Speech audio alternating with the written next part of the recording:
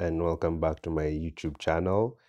And today I just wanted to talk a little bit about anime and tell you my story of how I got into anime and uh, what anime is, as well as what some of the misconceptions about anime are.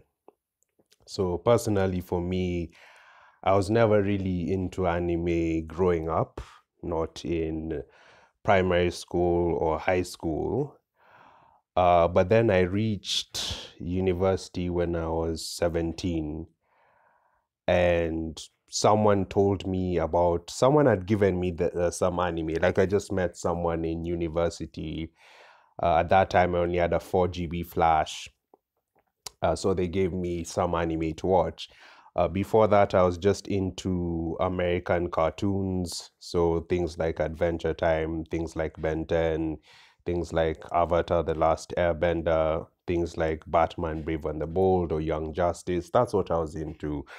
But I'd never really uh, been into anime that much. But anyway, there I was in uni, and basically, I met someone who was watching something on his laptop in the cafeteria. And I just asked them, What are you watching? Then they're like, Oh, it's anime. I'm like, What's it about? And then I think he told me then I asked him if he could give me some episodes. So he gave me like my flash disk was pretty small, like 4 GB. So he, he gave me like one episode each of like 10 or 5 different anime. Uh, because I think the anime was about one episode was about 400 MB. So I checked it out and it seemed pretty interesting. Uh, I, I didn't like most of them, but two of them I did like. One was called Brave 10 and the other one was called Blood Lad.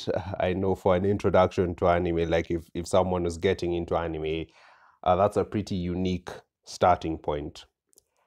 Before that, however, when I was really young, when I was in class 8, so I was about 12 years old, my friend gave me this Bleach DVD. You know, these are the days for burning DVDs. So he just gave me this Bleach DVD, which was like from episode 112 to 124 and it was subbed. So that means it had subtitles because it was originally in japanese. And i think that's why i got put off by anime because i was like one i can't understand what they're saying. Two i just found bleach to be a very depressing anime. So yeah i ended up uh, not watching not liking bleach and that sort of put me off from anime but then in university, I heard about, uh, I got to see Blood Lad, Brave 10. Eventually, I heard about Death Note and Attack on Titan, and that was it for me. I completely fell in love with anime. I heard about Death Note first. I know, I think I had about Attack on Titan first, and then Death Note. Right? And I completely fell in love with anime at 17. I'm now like 26. So completely fell in love with anime and I really loved it. And the funny thing with anime, it doesn't take a long time to get into anime, right? In fact, starting with some of the misconceptions about anime, the first one being that all anime is 100 episodes, right? Because the most popular anime that you'll hear about is normally Bleach, Naruto, and One Piece right? And those are all anime with like hundreds of episodes, maybe even 300 or 200 or 500 episodes. And I used to think all anime was like that. But the reality is that most anime is actually 12 to 24 episodes. About 90%, right? 90% of anime is actually 12 to 24 episodes. In fact, I felt conned because with some anime, I really did enjoy it However, it was only 12 episodes. I was like, wow, this is only 12 episodes. Why can't they make more? Right?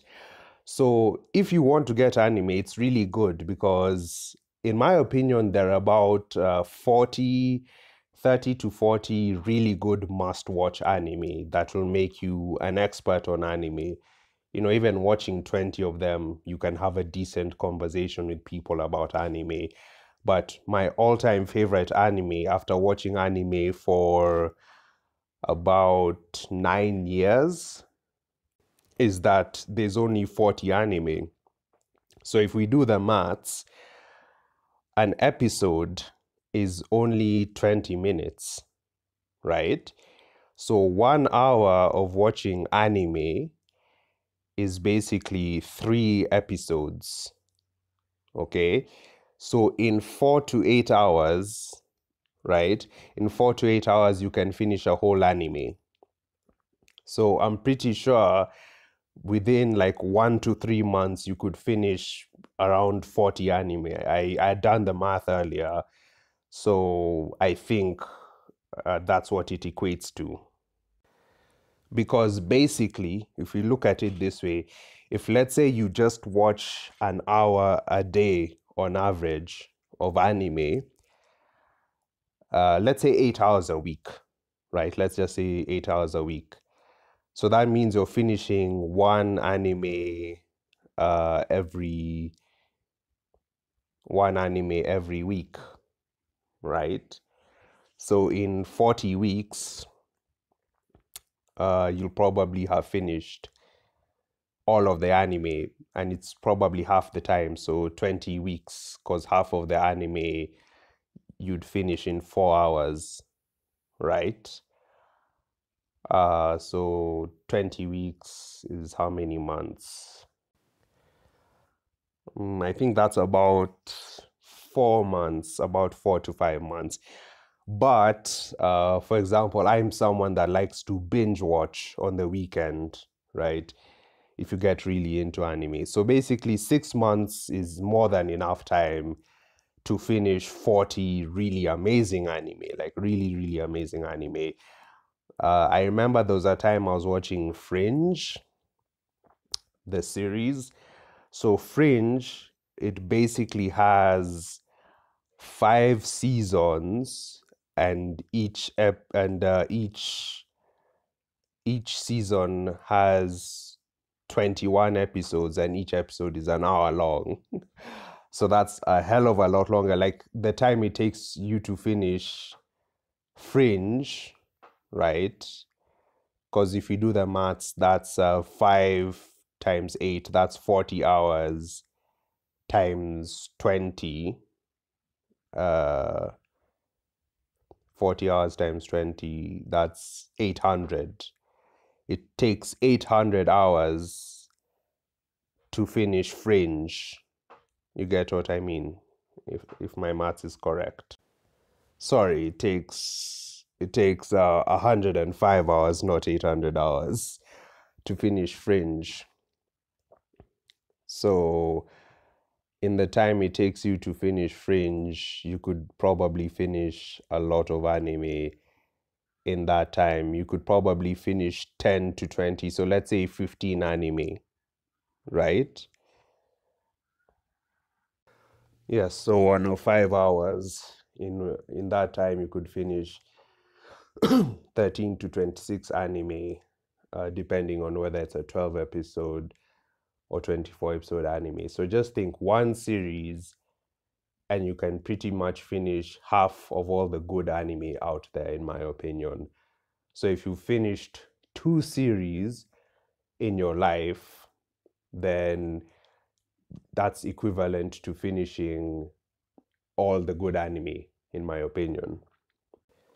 So don't be intimidated by the amount of anime out there because most of it is very short. Yes, there are still a few animes that have many episodes, but as I said, 90% of anime is 12 to 24 episodes, so it doesn't take that long to finish. Uh, the next mi- misconception I'd like to tackle is that most anime is like Bleach. So, Bleach is basically a shonen, and there are two types of anime there's mainly seinen and shonen. So, shonen is just mindless action over hundreds of episodes. It has these crazy fights that uh, destroy half the city and last three days. That's mainly shonen. And I think most people who don't like anime, it's because all they've ever heard of is shonen. However, there's also seinen. So shonen is mainly geared towards younger audiences, so like teenagers. But seinen is geared more towards uh, adults, young adults. Because you see, in Japan, the way we watch series in the rest of the world is the way they watch anime. So, anime is for everyone, right? So, even adults that watch cartoons and the main thing they watch, yes, they still watch shonen, but they also like seinen. So, seinen tends to be more realistic and more complex in terms of the plot, the depth, the character development. It's more psychologically thrilling. You have adult themes such as death, rape, murder, drugs, alcohol. So, very complex storylines with lots of plot twists, the same level of depth and complexity you'd find in um, a regular TV show that has a lot of plot twists in it. Uh, lots and lots of delicious plot twists. So, some examples of seinen include Death Note, Attack on Titan, Future Diaries, Black Lagoon, and Samurai Champloo. The shonen, as I said, it's Bleach, Naruto, One Piece, Demon Slayer. So growing up in my my my time, uh, back in my day, it was Bleach, Naruto, and One Piece that were the holy grail of anime as I said, someone even gave me a Bleach DVD and I didn't like it. And I used also used to hear, uh, hear that they liked Naruto, but I didn't like Naruto. So just to give you an example, uh, Future Diaries, the concept in Future Diaries is that the god of time, Deus, is dying and he needs to appoint a successor. So he gives, I think, is it eight, either eight or 11 individuals a diary that can predict the future. And most of the time, the diary is in the shape of a phone and it allows them to predict the future. So it's a sort of survival game where the last person standing is going to become the new god of time. So, for example, one person's diary predicts what happens like every the next five minutes. Uh, this girl that has a crush on him, her diary predicts what will happen to him, right? And then uh, this other girl is a terrorist so her diary predicts the best escape route. She's a criminal so her diary predicts the best escape route to evade the police. And there's a police officer who, who now his diary predicts the best way to catch the criminal. It'll say like the criminal is going this way turn left.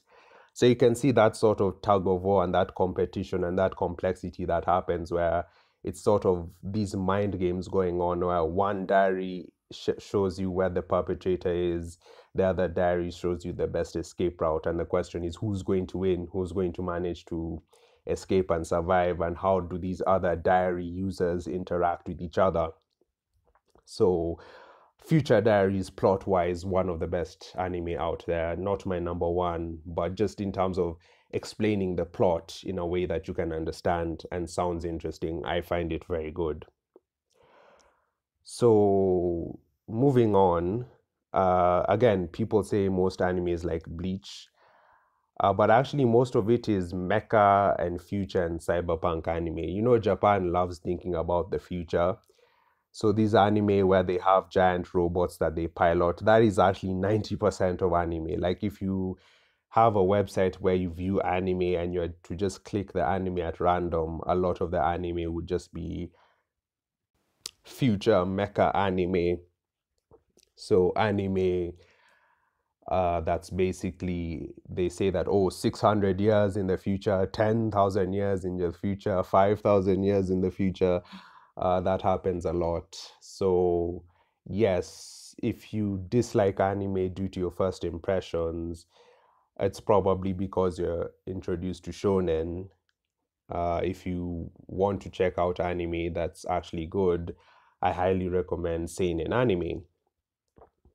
And that was also point number three that uh, people think anime is unrealistic due to fight scenes and simplistic plot and lack of depth and lack of complexity.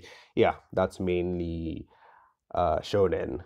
And they also think the dub is terrible. So anime mainly comes in either raw, dubbed, or subbed. So raw anime is just in pure Japanese, no subtitles. Dubbed anime is where English voice actors talk over the Japanese characters, like they remove the Japanese sound and put, you know, dubbed is, and subbed is just subtitles. So dubbed for shonen anime is the one that's crap because it's geared towards kids. So as long as the kid can understand the voice, the voice doesn't have to sound good. But the dub in uh, seinen is actually amazing. So, for example, Black Butler, uh, the accent, it's about some butler, some demonic butler in, like, I don't know, the 18 or 1700s. He has the best British accent I have ever heard uh, on screen, like, even compared to live action, right?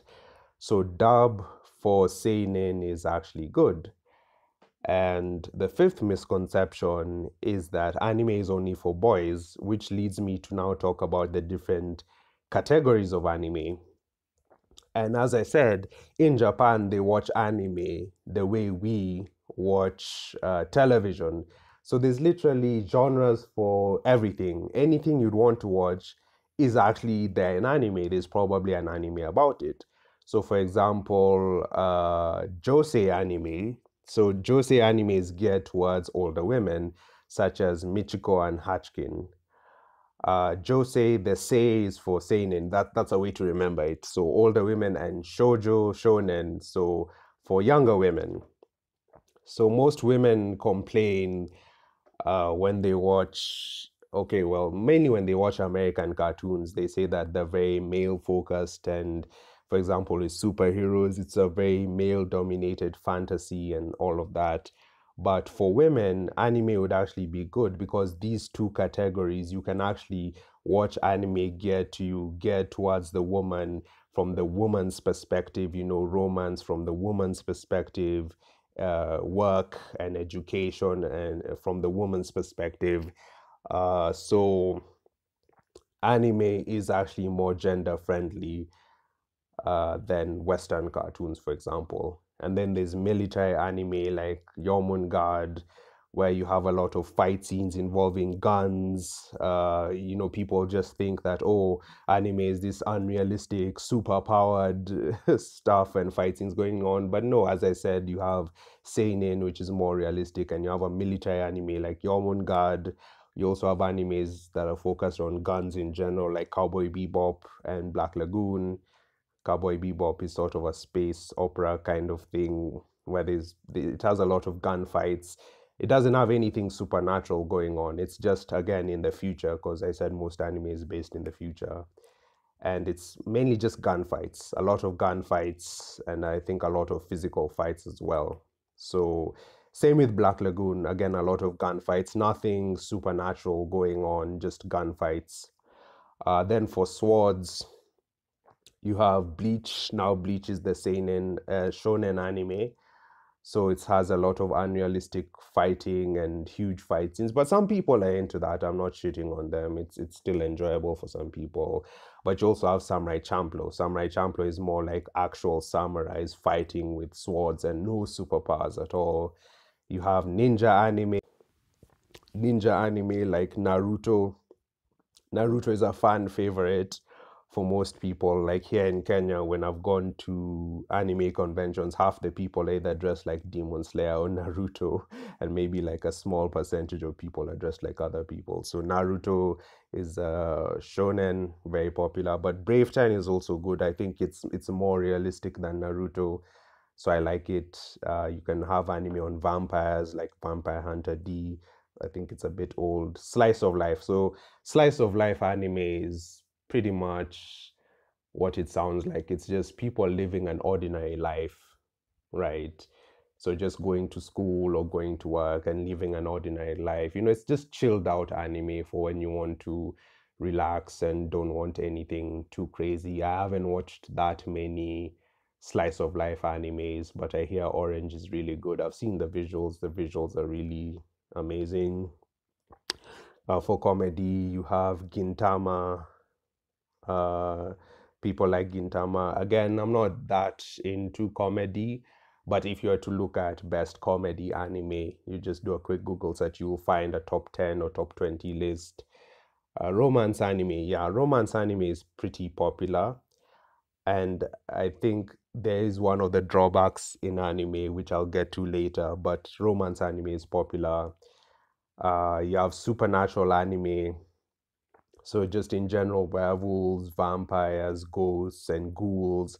Uh, Tokyo Ghoul is amazing. It's a really amazing anime. It's about like these ghouls that can eat. I think they need to either eat people or drink their blood. I think it's one of the two, probably the drinking of maybe both. Uh, these ghouls and they live in well Tokyo, and it's amazing. Tokyo Ghoul is amazing. Well, the pro protagonist is a bit of a beta male, but other than that, it's a pretty amazing anime. Uh, psychological thrillers like uh, like as I said, Future Diaries, but also Dead Man Wonderland is about this prison. There's a prison where prisoners are forced to fight, and some of them have the ability to bend their blood in different ways to form weapons. So if you've seen blood bending in Avatar, that's how it is in Dead Man Wonderland. Uh, it's really cool because it's it's such a limiting power. It's like yeah, you can bend your blood, but you don't use too much of your blood. Otherwise, you know, you're gonna pass out and die. So really cool. And then mecha anime with the robots. You have Code Geass.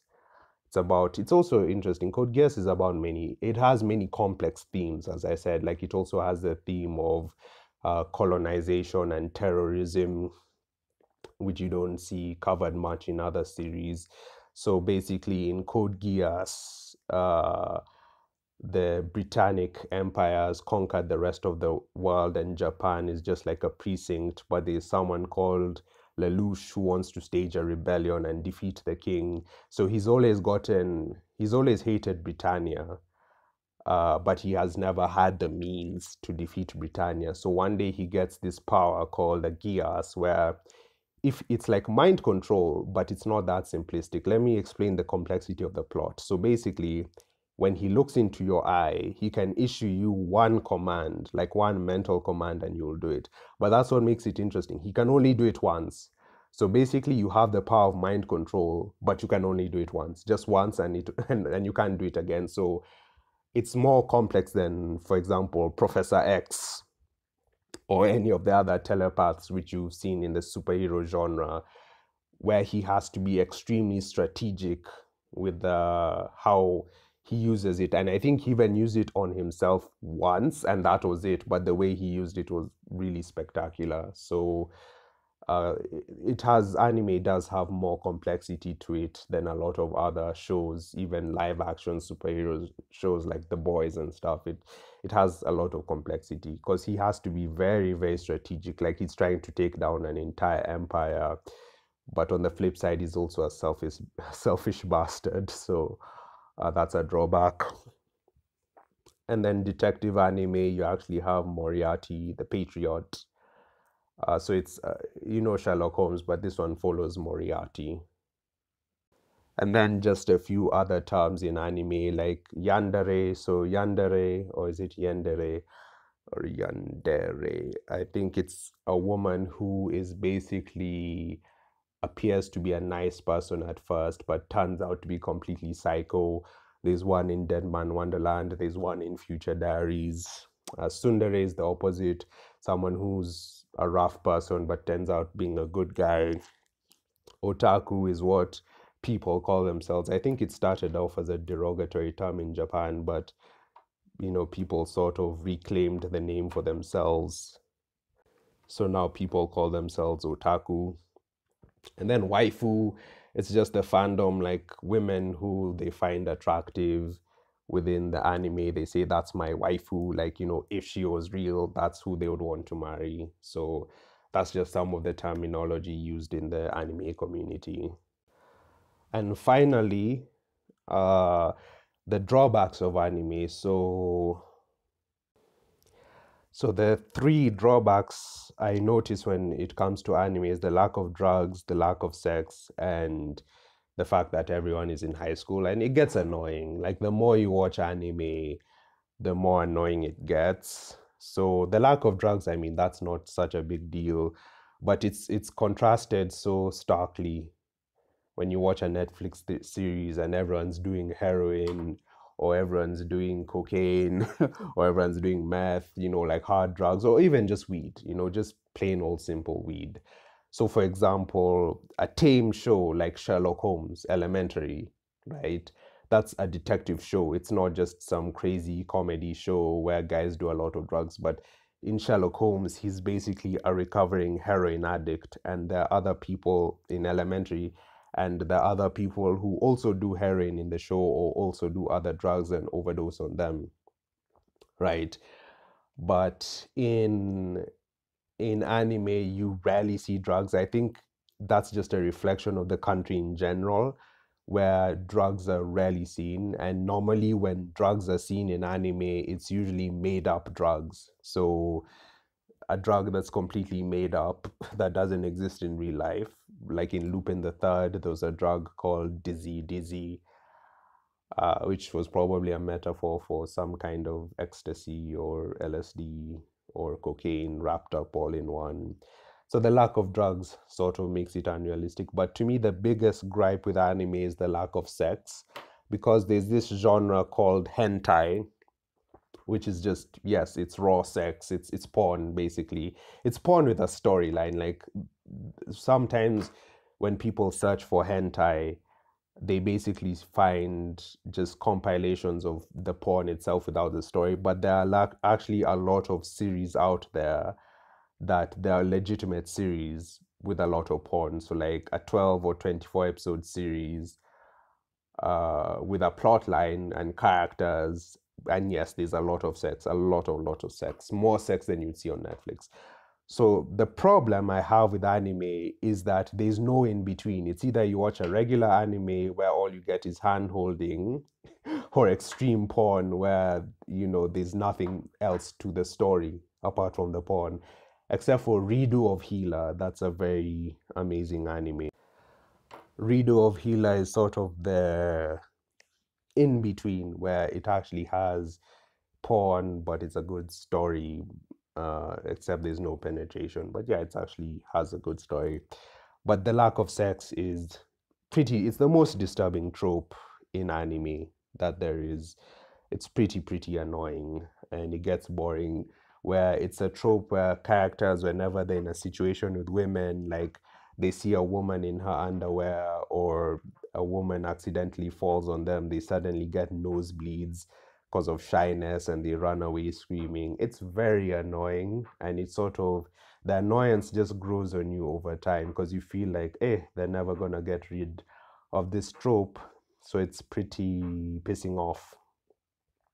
Uh, and the fact that they're all in high school that is also annoying that's why i sort of see i think anime gets a lot of shit that it doesn't deserve because people as i said they're mostly criticizing uh, shonen when they say that there's no depth there's no complexi- complexity everything is completely unrealistic i think it gets a lot of shit uh, but the one area where it doesn't get shit is the fact that the, there's a lack of sex and everyone is in high school. So it's kind of annoying. Like for me, I think up until I was 21, yeah, I could relate to anime. But it's kind of annoying when you're 26 and you're trying to relate to a 16 year old because you're like, dude, that was like a really long time ago. You know, I want to see some adults. And yes, there is some anime that has adults in it uh, Durarara, some of the character, like one of the characters is 21. A few of them are like 21. They're in their 20s. Uh, Baccano, you have uh, largely adult characters in Baccano, which is really good. Uh, Cowboy Bebop, yes, most of the character, the main characters are like in their 30s in Cowboy Bebop. Black Lagoon as well. All of the characters are adults. Uh, Psycho-Pass, I remember one specific season of Psycho-Pass all the characters were 24 and uh, what other animes there even darker than black. The character is 21 but i think with all of these characters none of them are in university right? So it can be a bit boring where you've gone through the whole university experience but you have nothing to relate to. And I think that's just a big problem with media in general, because even with regular live action, all the characters are over 30. So now it's the opposite problem where you're watching a guy who has a wife and kids. Let's say you're 15, you're watching a wife, a guy who has a wife and kids. It's like you've not even lost your virginity yet. You know, you want to have sex with many people before you settle down, and this guy's already married and having kids. So I find both of them unrelatable. That's why for live action, I've never liked it. I'm like, why is everyone always over 30? Always. Like, I think the only series where people are not over 30 that comes to mind is the Skins and um, Misfits. And I think I think in Friends they're in their 20s and and uh, what other series? Uh, How I Met Your Mother. But in most series, people are too old, and there's no series I've seen where people are in uni, right? All I'd want is for more series to be out there where people are in uni, whether live action or animated. In fact, if I was to start an animated company, then I would basically just um, I would basically just do focus on college, like focus on the 16 to 25 demographic, so the real young adult demographic because no one is tackling that. No one, like, it's such an untapped market, and I wish more people would target it.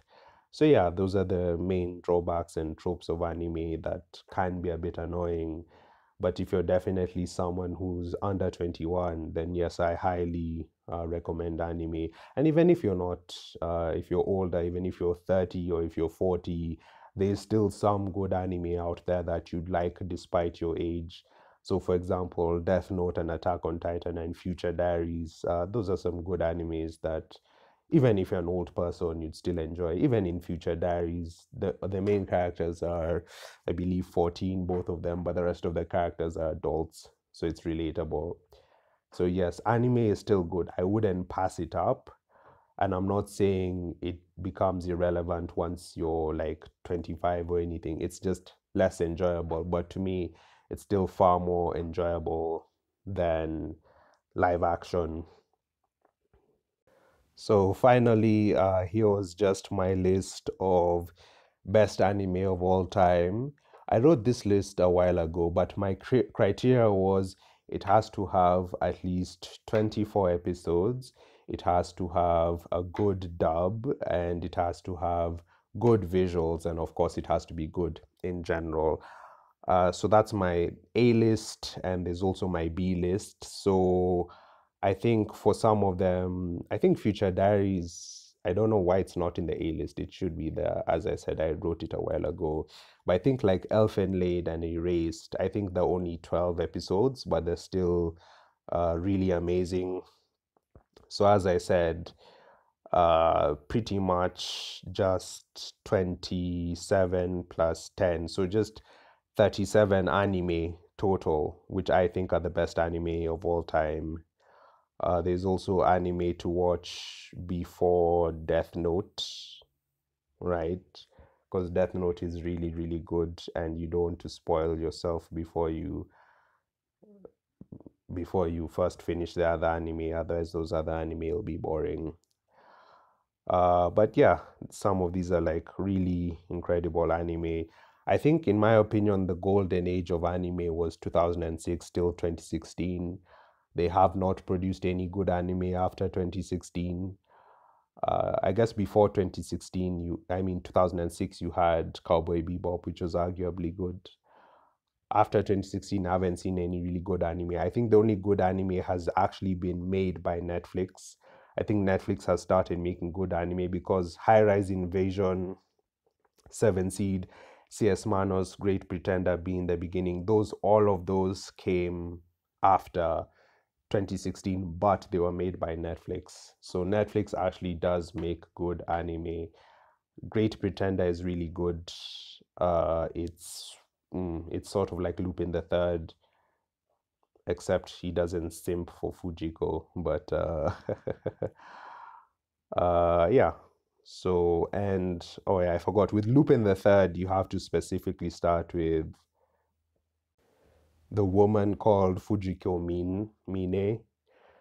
So there's Lupin the Third, which I think is part three, called I think it's just called the woman called Fujiko Mine. Then there's Lupin the Third, Part Four, Part Five, Part Six. I think down Part Six now. I stopped at Part Five, but it was really good. It was a really interesting series. It also has a lot of uh, plot twists. Uh, Fairy Tail is also amazing. I'm just trying to give short reviews. I'll review all of them in more in depth later. But uh, Fairy Tail is also really amazing. It's sort of like if you liked Avatar, The Last Airbender, and you know that's the thing. A lot of adults liked it, even though it's like preteens and teenagers in that show.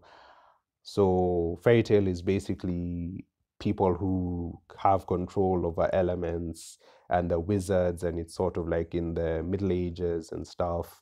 There's a lot of fan service, so it's pretty good. It's it's the only shonen that I like, uh, Fairy Tail. So it has hundreds of episodes, lots of action. But I love Fairy Tail. Fairy Tail is actually amazing, as well as uh, what else?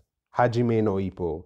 It's an old anime. Hajime no Ippo. I think that's like 2001 or something. But Hajime no Ippo is a sports anime. That's what I mean. There's anime about everything, even sports. There's anime about racing, driving, cycling, boxing, basketball, basketball, cricket, tennis, any sport, almost every sport you will find an anime. There's even anime about cooking that two shows. I think there's Bento Box. I think it's just called Bento. And there's another one. There's a really popular one about cooking. Just search cooking anime and you'll find it where anime food looks really delicious. So you can really find almost any category of anime that you're looking for to suit anyone's needs. So, yes, uh, that was just my full review of anime. Uh, yeah.